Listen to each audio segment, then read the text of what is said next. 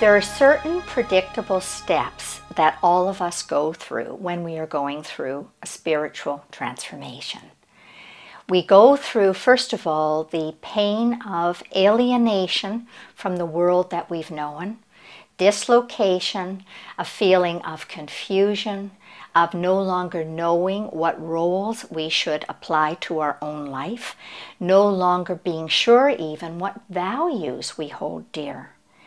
So, as these things are ending, fear may arise, and we may be very fearful of what we are losing.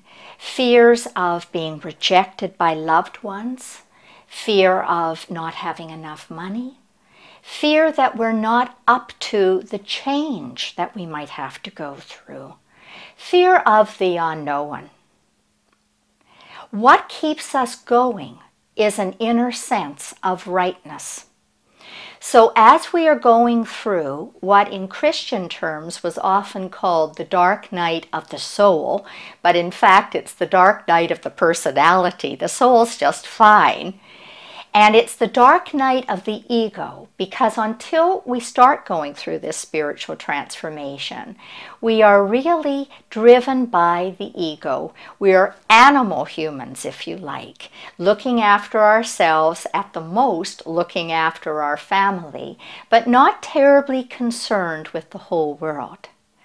This changes when we start going through our spiritual transformation and our soul starts calling us to be a, a member of the wider community of the collective, of the co creators of this planet, and to start working with Spirit to manifest our purpose in alignment to that Spirit on our planet.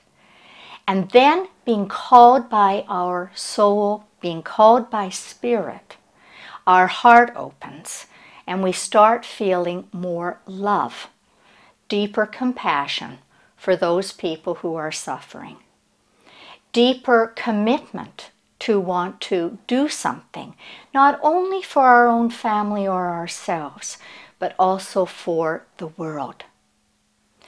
The journey in the end will take us to becoming a soul infused personality we will still have a personality.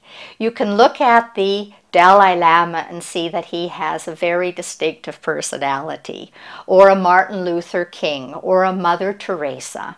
And these are all examples of soul infused personalities, people who've gone through a spiritual transformation.